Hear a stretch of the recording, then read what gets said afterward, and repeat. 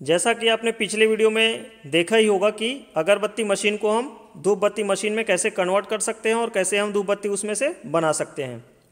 तो आज की इस वीडियो में कुछ कुछ चीज़ें जो है मैंने अरेंज कर ली हैं इसके लिए, जिसको हम सेटिंग्स करके जो है धूप बत्ती मशीन बनाने की कोशिश करेंगे और मेरे ख्याल से ये सक्सेसफुल हो सकता है। और तो कुछ कुछ मटेरियल्स मैं अभी रेडी कर लिया हूँ, जैसा कि आपको दिख रहा होगा।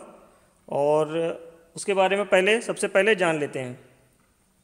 तो सबसे पहले ये है हमारा एक स्क्वायर पाइप, जिसकी हमें ज़रूरत पड़ेगी अभी। अभी खाली मटेरियल आप देख लीजिए किस किस तरीके से आपको रेडी करना है, वो चीज़ें, फिर आपको किस किस तरीके से ये सेटिंग होगी, आपको पूरा पता चल जाएगा। तो स्क्वायर पाइप हो गई ये। और ये हमारी पट्टी है, जो कि ये हमारा सिस्टम में लगेगा। और ये सबसे बड़ा चीज़ हमारा ये ब्लेड है, जो कि एक पट्टी से मैंने बताया बनाया हुआ है। और ये एडजस्टिंग होल मैंने इसमें भी किया है, और ये सामने का हिस्सा आप देखो, देखोगे तो इस, थोड़ा सा इसको ब्लेड के जैसे मैंने बनाया है। इसको ग्राइंडिंग से, इसको तेज मतलब मान के चलिए, एक छुरी की तरीके से इसको मैंने रेडी किया है। तो ये हो गई हमारी पट्टी, और कुछ नॉर्मली बोल्टिंग वगैरह जो है वो लगेंगी। तो सबसे पहले हम सिस्टम जो है समझते हैं। ये हमारा जो है धूप बत्ती मशीन में इनका कोई काम नहीं है तो इसको हम पहले निकाल देते हैं।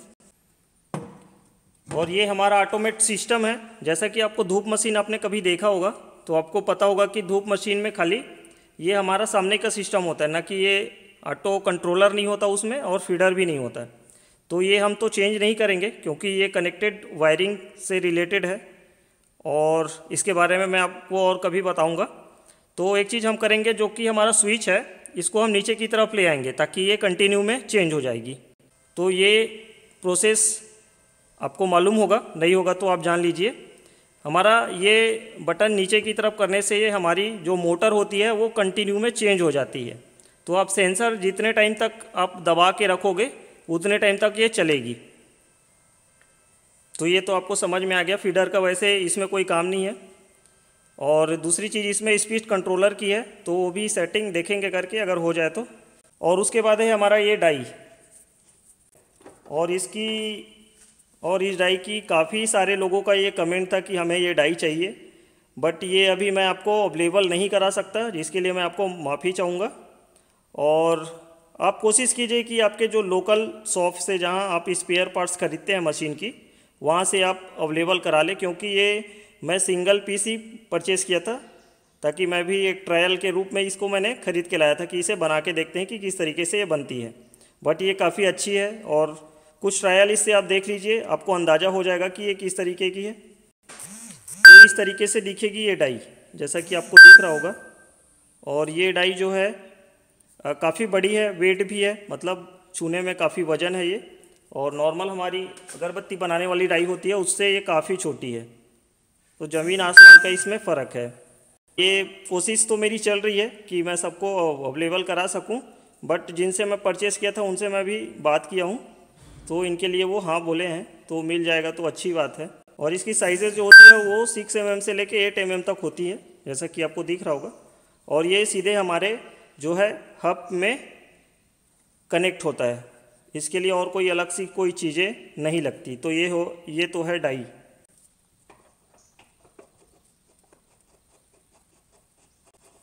तो ये डाई हम लगा लिए अब इसमें जो जो चीज़ें मैं बनाया हूँ जुगाड़ से, उसको फ़िलहाल लगाते हैं। तो सबसे पहले ये पंटी जो है हम सैंपल करते हैं।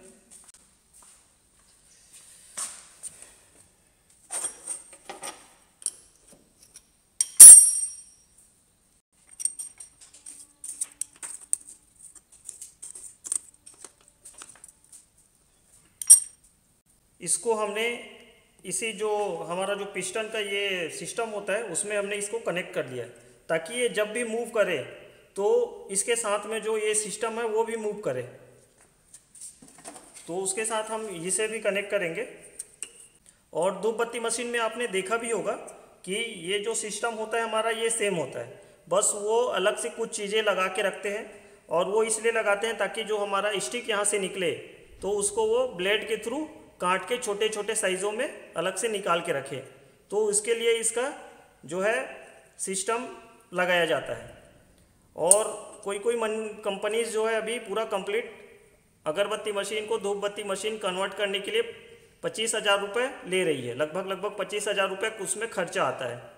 जो कि मेरे ख्याल से आ, कुछ कारण से उन लोग लेते होंगे वो अलग चीज़ है। लेकिन ये हमारा सक्सेसफुल हो गया तो हमारा हज़ार रुपये तक में ही काम हो जाएगा। उससे ज़्यादा नहीं लगेगा। बारह सौ, पंद्रह सौ तक ये पूरा रेडी हो जाएगा। और अगर ये चीज़ें आप खुद कर लेते हो तो आपका पैसा और बच जाएगा। अब कोशिश करते हैं कि ये सक्सेसफुल हो जाए। बाकी चीज़ें वो सेम ही होती है, कुछ उसमें अलग नहीं हो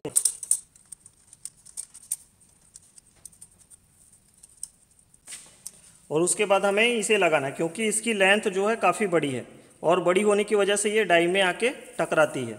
तो ये इसको कंट्रोल में रखेगी। तो इसको हमने होल कर लिया है नीचे से। और होल करने के बाद एक पट्टी इसमें लगाएँगे हम, पट्टी और स्क्रू। और ये इसमें एक कटिंग की गई होगी। कटिंग हम किए हुए हैं, जो कि ब्लेड के अंदर इसमें आएगी ये। और ये नीचे से, यहाँ से ये जो है, इसको हम स्क्रूइंग कर देंगे ताकि ये हिले डूले ना। इसकी वजह से ये जो नीचे की पट्टी है, वो मैं लगाया हुआ हूँ। तो किस तरीके कुछ इस तरीके से ये लगेगी। अब ये हमारा फिक्स हो जाएगा तो ये चलेगा तो इसमें कोई प्रॉब्लम नहीं होगी। तो ये हमारा स्क्रू जो है, अच्छे से फिक्स हो चुका है टाइट हो चुका है, और इसमें थोड़ा सा मेहनत लगा, और इसमें थोड़ा सा हम ऑयलिंग कर देते हैं। तो ओवरऑल देखा जाए तो हमारा ये सिस्टम जो है रेडी हो गया है, और इसके बाद हम चला के देखते हैं कि इसमें क्या चीज़ें अच्छी होती है और क्या ख़राब। और कितना सही से ये चलता है। इसके थोड़ा दूर रखते हैं। इसको भी मैंने एडजस्टेबल बनाया हुआ है। आपको दिख रहा होगा। तो इस तरीके से भी आप इसको एडजस्टेबल ही बनाएँगे। अगर फिक्स बनाएँगे तो इसको मूव करने में कभी छोटा बनाना है तो कभी बड़ा बनाना है तो उसके, उस टाइम ये दिक्कत हो सकती है। फ़िलहाल तो अभी ये इतना ही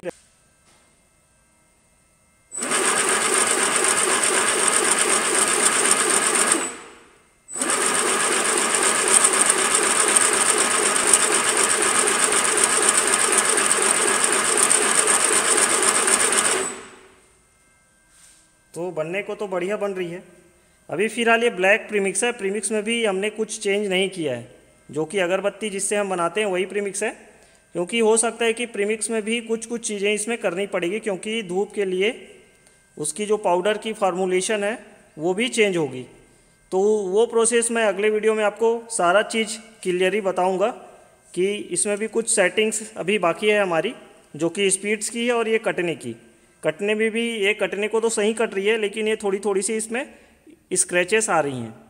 तो इसको भी हम क्लियर करेंगे, फ़िलहाल थोड़ा और चला के देखते हैं। अभी पूरा सिस्टम देखा जाए तो हमारा 80 परसेंट इसमें सक्सेसफुल हो गया है। 20 परसेंट जो बाकी है तो यहाँ की कुछ सेटिंग इसमें बाकी है, और हमारा स्पीड कंट्रोलर अगर ये दोनों चीज़ें मेंटेन हो गई तो ये हमारा कम्प्लीटली धूप मशीन बन जाएगा, और आपके बच जाएँगे पूरे के पूरे पच्चीस हज़ार रुपये क्योंकि इसको बनाने के लिए बाकी कंपनियाँ पच्चीस हज़ार रुपये ले रही है। लेकिन उसमें कुछ सिस्टमेटिक काम होता है, ऐसा नहीं कि टेम्प्रेरी बना के दे देंगे। उसका पैसा लेने का रीज़न भी कुछ अलग हो सकता है, लेकिन ये आप काम चलाने के लिए ये कर सकते हैं, इसमें कोई दिक्कत नहीं है।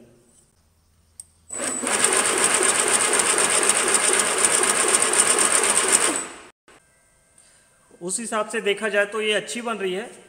बट ये कुछ कुछ चीज़ें इसमें यहाँ पे और करनी बाकी हैं। जैसा कि स्पीड, मेरे ख्याल से स्पीड का ये थोड़ा सा प्रॉब्लम हो रहा है इसमें, क्योंकि स्पीड को भी मैंने इसको चेक किया था तो इसकी ड्राइव काफ़ी पुरानी ड्राइव इसमें लगी हुई है। तो मेरे ख्याल से उसमें कुछ और, क्योंकि ये पुरानी मशीन है तो उसमें एक्स्ट्रा और कुछ सेटिंग्स होगी। वैसे नॉर्मल मशीनों में स्पीड कंट्रोल हो सकता है, और मैंने और कुछ कुछ मशीनों में करके देखा है, लेकिन इस मशीन में कंट्रोल नहीं हो पा रहा है। तो फ़िलहाल आज के इस वीडियो में इतना ही, क्योंकि वीडियो काफ़ी लंबी हो गई है। और ये वीडियो आपको अगर अच्छा लगा हो तो हमारे चैनल को बिल्कुल आप सब्सक्राइब ज़रूर कर लीजिए। और ऐसे कुछ आइडियाज़ मैं आपको और देते रहूँगा जुगाड़ की चीज़ें। तो फिर सब्सक्राइब ज़रूर कर लें आप। और इसके अगले वीडियो में मैं बताऊँगा आपको इसकी स्पीड की सेटिंग्स। और ये हमारा धूप, जो कि इसकी फार्मूलेशन और किस तरीके से इसका पाउडर जो है होना चाहिए उसके बारे में जो है हम बात करेंगे। तो मिलते हैं अगले कुछ नए वीडियो में। तब तक के लिए धन्यवाद।